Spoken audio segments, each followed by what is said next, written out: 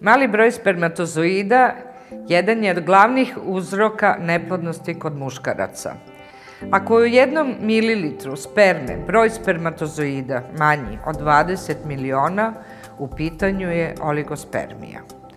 Do spontane trudnoće može doći i ukoliko je broj spermatozoida u jednom mililitru manji od 10 miliona, tako da se i ovaj broj može uzeti kao granična vrednost iako je potreban samo jedan spermatozoid da bi se oplodila jajna ćelija. Verovatnoća da će se pojedinačni spermatozoid stići do jajne ćelije je veoma mala. Usled toga, nizak broj spermatozoida će umanjiti šansu da žena zatrudni.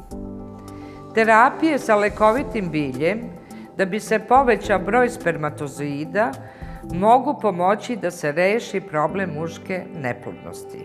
Biljka ginseng se koristi preko 5000 godina u ljudskoj ishrani i lečenju i u Kini je zovu koren života. Pospešuje biosintezu u testisima, povećava broj spermatozoida i pozitivno deluje na potenciju. Preporučene dnevne doze idu od 500 mg do čak 4 grama, ali treba biti oprezan jer nisu sve vrste ginsenga iste jačine. Grčko seme je jedna od najstarijih lekovitih biljaka.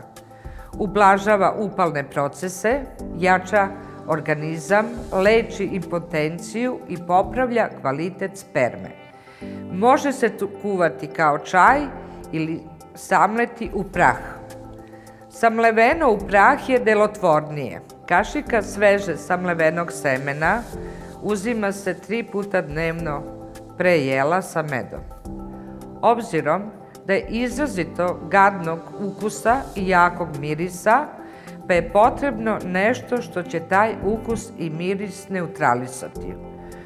Zlatna maka povećava plodnost, libido i potenciju broj i pokretljivost spermatozoida, volumen sperme, povećava seksualnu snagu, smanjuje uvećanu prostatu, otklanja često mokrenje, rešava probleme kod prerane ejakulacije, smanjuje erektivnu disfunkciju, povećava fizičku izdržljivost i vitalnost.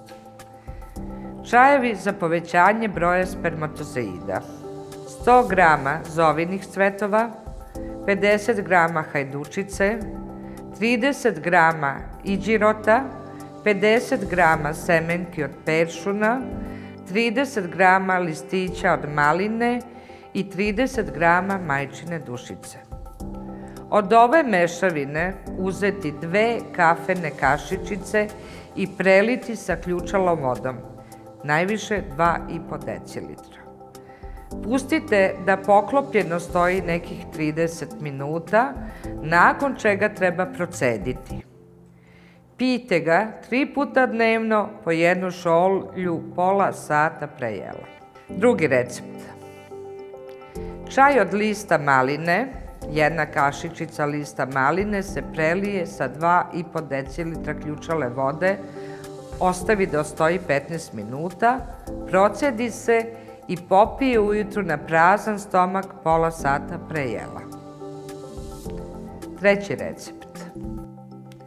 200 grama hajdučke trave, 60 grama zove, 50 grama kantariona, 30 grama nane, 30 grama listova maline, 20 grama stabljike lazarkinje, 20 grama iđirota, 20 grama stabla majčine dušice. Sve sastojke treba dobro promešati i jednu supenu kašiku ove mešavine sipati u 1 litar ključale vode i kuvati poklopljeno još jedan minut. Kada se ohladi treba procediti i nasuti u flašu koju ćete držati u frižideru. Piti tri puta dnevno, pola sata pre i posle jela po 1 decilitar, što je oko pola čaše. Ujutro piti pola sata pre jela na prazan stomak.